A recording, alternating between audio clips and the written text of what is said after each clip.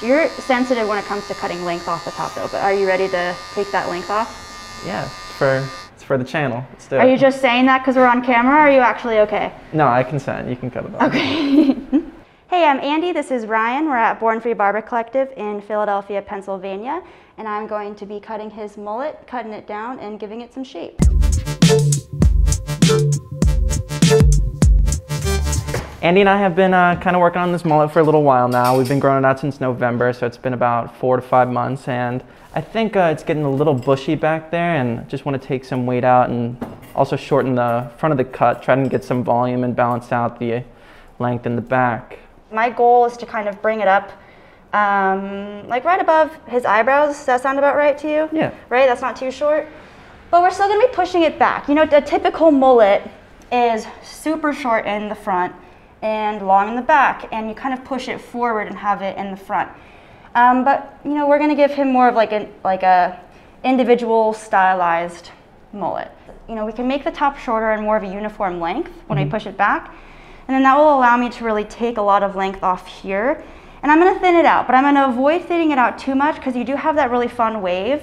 And with wavy and curly hair, you know, if you just take the thinning shears and like thin it out like crazy, it's going to get really frizzy. Yeah. Um, so we're gonna avoid doing that, but we're gonna make it shorter and, and take some weight out. Great. So I'm gonna start with a two. And I really don't wanna go any higher than, you know, right above his temple.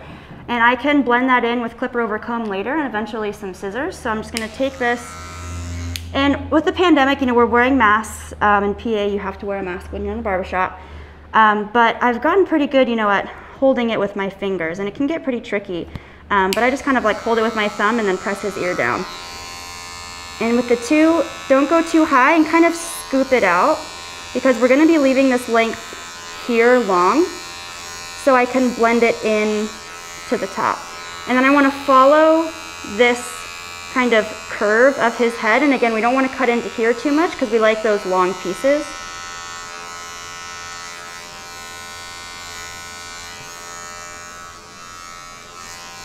And this is just creating like a clean working space so we can fade it down to the skin. Again, leaving those alone. And we're gonna fade that in with some scissors a little bit later. So now I'm gonna take one and a half and I'm slowly just gonna start fading down. So I'm not gonna take the one and a half as high as I took the two, but it's gonna be one and a half closed. And just follow that same line that I made initially. And then you're gonna open it all the way, which is essentially a two. And you're just gonna blend that into that two that you did. You know, it doesn't look like there's that much of a difference from what I did, but you're just setting yourself up to make that fade a lot easier and a lot smoother to kind of work around. And I like to go two to one and a half and then to skin so I can make that line with the skin that I'm eventually gonna fade in, but I can make this kind of as clean and as short as possible without losing my place. And I'm not gonna go very high. I'm really just gonna, again, follow. So you see that this line here is pretty like uh, symmetrical with this line here. It's in line with it. I'm just gonna do that on the other side too.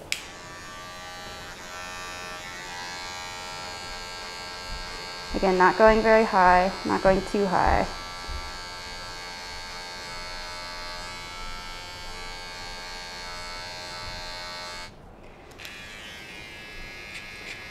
So I'm just gonna kind of scoop these hairs out.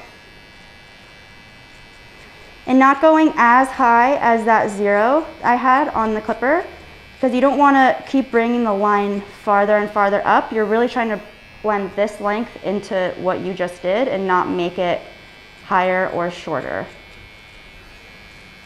So that should be short enough now for the, the foil shaver to catch. And sometimes if there's like a little, like you just saw what I did there, there's a little hair that, you know, you need to get, so you can just use the corner of this, kind of just like flick it out of there. And instead of using my comb, I'm gonna use a bristle brush. Uh, I just wanna get all of the little tiny pieces of hair that's gonna come off of this. And the pieces of hair that come off with the foil shaver are kind of just like dust, so this is helpful. And with foil shavers, you wanna apply a good amount of pressure, and you can kind of flick up with these like you do with the clippers, and that just means you're applying less pressure as you push up. So you can fade it in rather than like really getting in there and then creating a line that's difficult to blend out. And then what I like to do, you know, just to kind of make sure that's blended in is I'll take it and I'll go down with it. It'll still take a little bit off, but it'll just, it'll not create that, that harsh line. You know, this is the shortest, uh, triple zero on the, the clipper. And then we left off with a one and a half right here. So all the way open, make another line, flick up so you're not creating just a harsh line because we want this to be kind of a seamless fade here, obviously. You can use those corners still to kind of get around the ear so you're not cutting into the fade. And now close it halfway. You see that little one right there? We're gonna be blending that in. Don't go as high up as you did with the clipper all the way open, or else you're just gonna be bringing the fade higher and higher, and eventually you're gonna be all the way up here, and that's not what we want. So I'm gonna grab my one guard,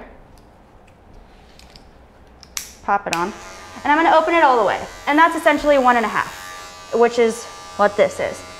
So I'm using the same length just to make sure we don't go up too high, and I think I sound like a broken record saying that, but this essentially is a low taper, a low fade, and that's it, it, can be pretty difficult because it's like you, you have to keep it low the whole time. So that's why I'm, I'm cautious and I keep using the same number over again, but just with different guards. Now I'm gonna close that so it's a full one. And just get those long hairs in there that are making that fade not seamless. I really need to expand my vocabulary when I talk about things. I just say the same words over and over again.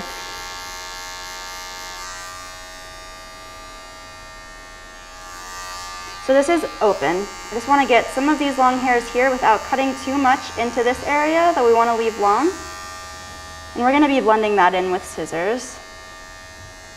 It's a little, there's a little too much right there, but I want to get that with my scissors. Um, I, again, I don't want to bring it too high. But right now I kind of want to clean up that line on his head. There's just like these hairs just like don't belong. Okay, so again, I'm just kind of pushing these back and seeing which hairs don't really belong. All I'm doing is cleaning up his hairline. I'm not necessarily giving him a shape up or messing with his hairline. I just want to get these hairs that are just a little too long and create that nice shape. Super simple.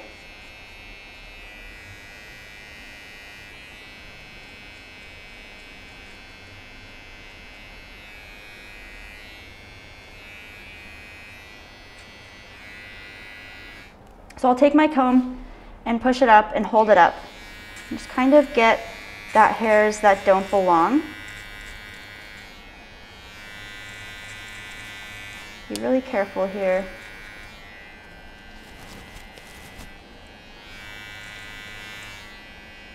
Kind of go around and do that. And it's really only the hairs that will be sticking out when this is down. So you don't need to go too high. And you prefer doing like the scissor work on the sides with wet hair? Yeah. Yeah, you know, you have a little bit more control that way, especially like in the smaller areas. Um, I mean, it can be done dry too, but I like to do it wet. I'm so afraid now when I walk around with my scissors. Did you guys see that video of that barber that stabbed himself in the heart with the scissors? No way. In the barbershop? if he's watching this right now, I hope you're okay. I think he's okay, but it's terrifying. Anyways, back to your hair. So you see these long lengths here, we just kind of want to get that even with everything else. So I'm going to take my comb, pull it out,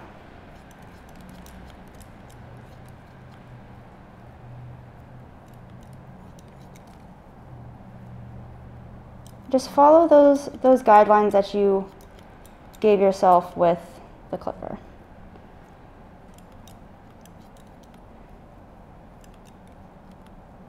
Um, we're not going to cut much length off the back because that's like the best part of this hairstyle is the length in the back. But we do kind of want it to be as straight as possible.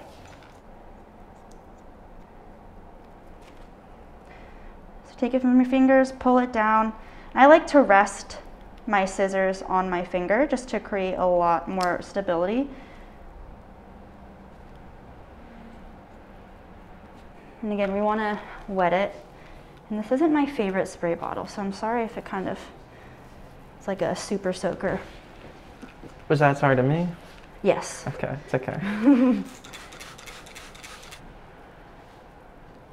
Is it weird to hear all the things come out of my mouth that are usually in my head when I'm cutting your hair?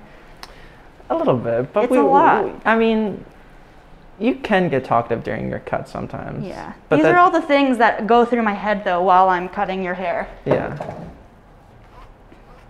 You get pretty focused during your haircuts when there's uh, no cameras. Cause I like doing it. Yeah, I know. I like it. That's why we like you. oh, thanks. All right, so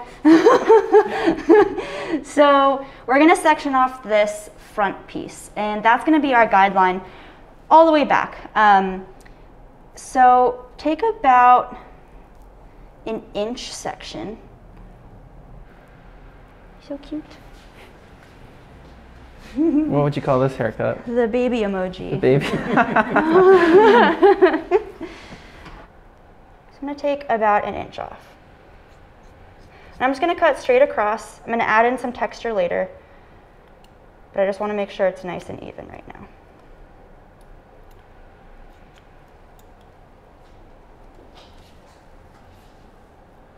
Right, You can already see that that's a lot shorter. So that's gonna be our guideline. Take that section, pull it up. Wow, we did leave it really long on top last time, we didn't we? We basically didn't take any out. So you can see that line you just made. I know the mullet it can be a little, uh, you know, out there or goofy to some people, and yeah, I admit some of it is like a little bit of my youthful rebellion trying to do something new. I would be lying if I said I don't like reactions, whether negative or positive. So when people's eyes widen when I turn to the side, it's kind of it's funny to me, you know. When you turn, oh, they see this, they're like, Yeah. oh, I wasn't expecting that to Yeah. be there. And just keep chipping away. I'm not used to cutting this much length off your hair. Well, it's not usually this long either. It's not.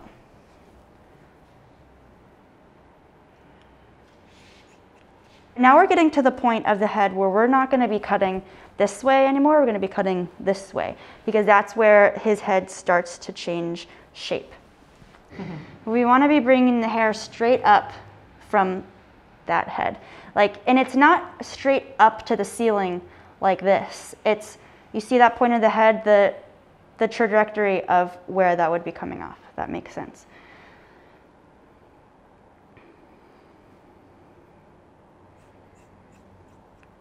And then now you have another guideline for that different direction that you're going to be cutting. And we want to create another section. I'm going to be working towards me and then I'll go to the other side. So before I move to the back now, I want to cross-check everything that I just did up here. But this looks really fun and I'm loving this. Um, and I don't use as clean sections here because I just I kind of do it quickly. Um, and I just kind of want to just pull up the hair. See, see that little corner there? We want to make sure that those corners are taken care of.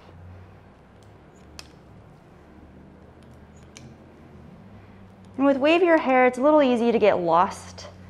Um, and that's why cross-checking is so important, but that's also why clean sections are so important. All we need to do, and before we blow dry it, is to even up this length and this length here. He also wanted to thin it out a bit here. I'm not gonna go crazy with it. Um, but with, when you push all your hair back, and especially leaving it long back here, it's gonna bulk up here, because that's where all the hair is collecting. So it needs to be thinned out a bit. And you know, there are some people that are like, don't chop it in with your thinning shears. And yeah, don't chop it in to the point where you're making the hair shorter because you're just going crazy with it. But taking out, uh, you know, using your, your thinning shears, the few snips just to get some of the bulk out is totally fine. We want to leave this as long as possible, but we don't want there to be just like a stark difference between this length and this length. So I'm kind of going to go at it at an angle. And then grab the other sections. Do the same thing.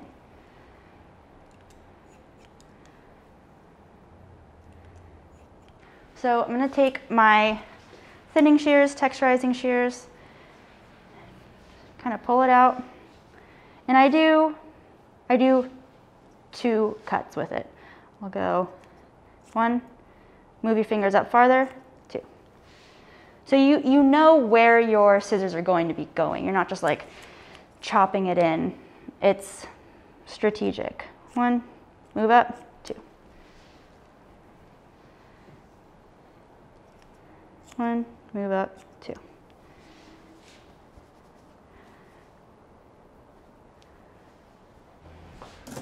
Now I'm going to use a little bit of salt spray, Beardbrand salt spray.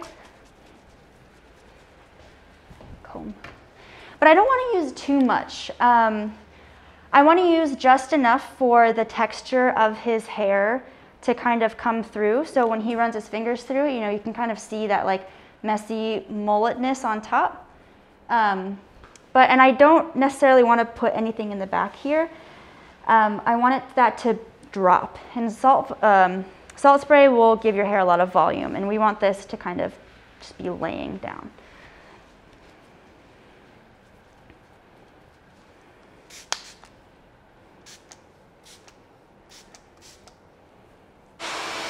I like to kind of pull the hair up a little bit in the front to give it some volume.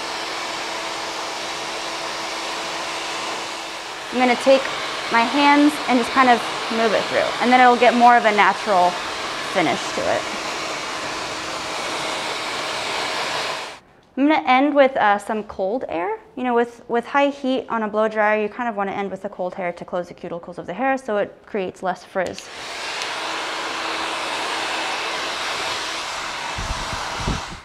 This is the shortest we've ever made your hair on top. How do you feel? For real? I think so. You always make me measure it. Could you measure it? Yeah, sure. I just want to know. So let's see, what did we leave it off at last time? We did Six and a half. Is it way less than six and a half right now? I think so. I would imagine so. I cut a lot off. Okay. Right about there. One, two, three, four. We're at four, Four? inches. Okay. I think that is the shortest we've gone though. Yeah, uh, if we weren't filming, I would have probably specified that around four inches is what I was looking to go for this time around. Wow, I read your mind then, Yep. huh? All right. Um, I'm gonna throw some hair tonic in there just because it's a little, it's a little puffy. But I'm not gonna put much in the top um, because that would kind of counteract the salt spray that I put in there. And I really like what that salt spray did. But I mainly want to put it back here. I put some in my hair too because I feel like I look like Hermione in Harry Potter 1 and 2 when she looks like she stuck her finger in a light socket. okay, all right. I have my texturizing shears. Just kind of the same thing as like the, the double snip back here. And if you just go crazy with them, you're gonna, you're gonna do too much.